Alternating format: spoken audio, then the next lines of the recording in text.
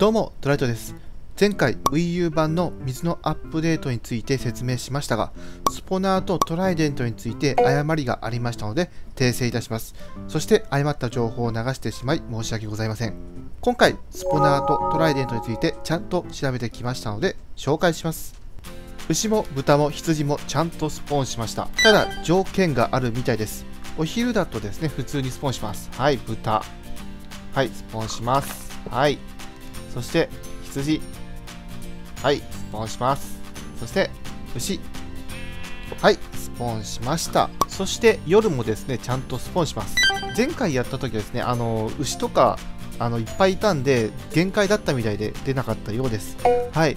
なので、ちゃんと夜も出ます。ただし、このような暗い動物などのところではスポーンしません。ちょっと暗いんで、暗視のポーション入れます。はい。で、ここでスポーナー入れて、え豚を入れてもスポーンしません。しかし、えーとですね、こちら、海のランタンで明るくすると、はい、このように豚が出てきます。動物内でも、えこのように明るくすれば、えースポーンはします。他にも条件がありまして、床が草ブロックでないとスポーンしません。例えばですね、こちら、下が全部砂です。で、豚のスポーナー入れてみても、はい、出てきません。羊を入れても、牛を入れてもダメです。はい。草ブロックでないとそこにスポンしません。なのでここにスタここに草ブロックを置くとこのようにスポーンします。草ブロックの上でしかスポーンしません。つまり牛や豚など普段自然にスポーンする場所の床でないとスポナーも起動しないということだと思います。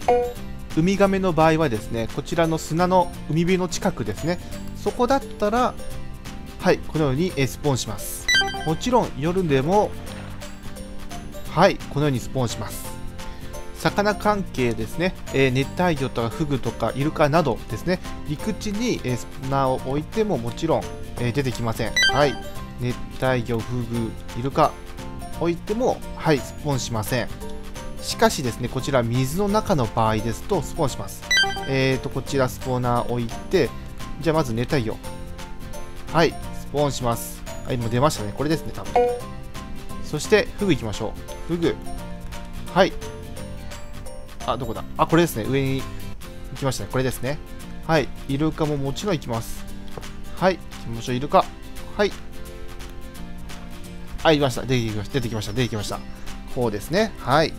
場所関係なくスポーンできるのは村人や敵モブかと思います。ただし、ゾンビやスケルトンは明るいところではスポーンしません。ということで試してみましょう。場所関係なくやるので、こちらの高いところからやっていきます。まずは、えー関係ある牛とかやってみましょう。牛。はい。スポーンしません。はい。じゃあまあ、もう一個行きましょうか。羊。スポーンしません。じゃあ鶏どうでしょうか。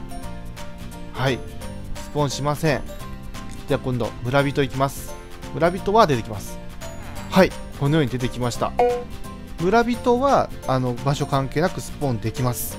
空中でもスポーンします。じゃあさらにモンスター系いきましょう。今度は、えークリパ。はい、場所関係ありません。では続いて、ゾンビ。はい、ゾンビも場所関係ありません。じゃあ最後は、スケルトン。スケルトンも場所関係ありません。ということで、スポナーでのスポーンの仕方はこんな感じです。場所関係なくスポーンするモブや、明るさによってスポーンするモブ、草ブロックでスポーン、砂ブロックでスポーンといろいろと条件があるようです。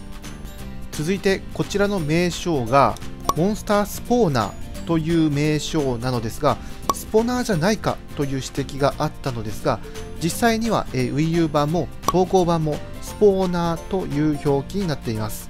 伸ばし棒があります。どっちが正しいのかというのがありまして、実際このように書かれているから、スポーナーでいいようにも見えますが、英語の発音はどうなのか調べてみました。はい、英語表記だとこのようになります。そして Google で調べまして、発音を聞いてみたところ、Spawner. Spawner. まあ、聞いた感じでは完全にスポナー、伸ばし棒なしですね。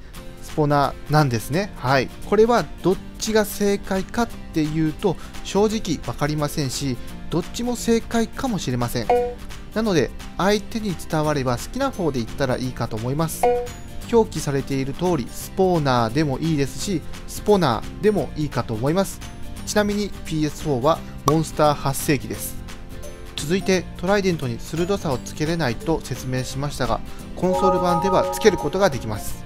統合版は鋭さがつけれなかったのですが Wii U 版でやりますとはいこのようにですね鋭さがつきます。しかも攻撃力11.0とめちゃめちゃ高いです。はい。その効果もしっかりついてました。こちらで試しましょう。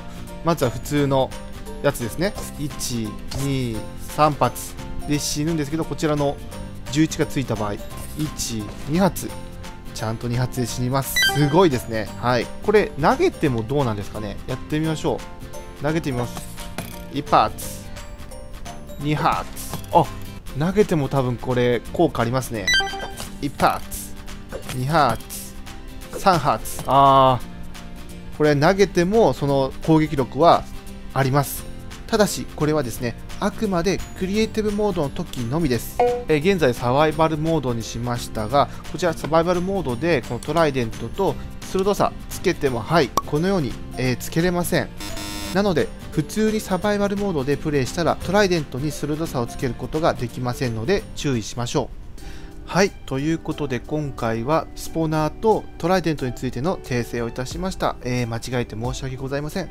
スポナーでのスポーンの仕方はいろいろなんか条件があったりしたりとかしてスポナーの名称はスポーナーなのかスポナーなのかちょっとわからない。結局わからないっていう感じになっちゃったんですけどまあ好きな方を選んだらいいかと思います。相手に伝われば別に問題ないかと思います。はい、トライデントはですね、鋭さはつけれるんですけど、あくまでクリエイティブモードのみですので、サバイバルモードではできないということは覚えておいてください。それでは以上で終了いたします。ご視聴ありがとうございます。またよろしくお願いします。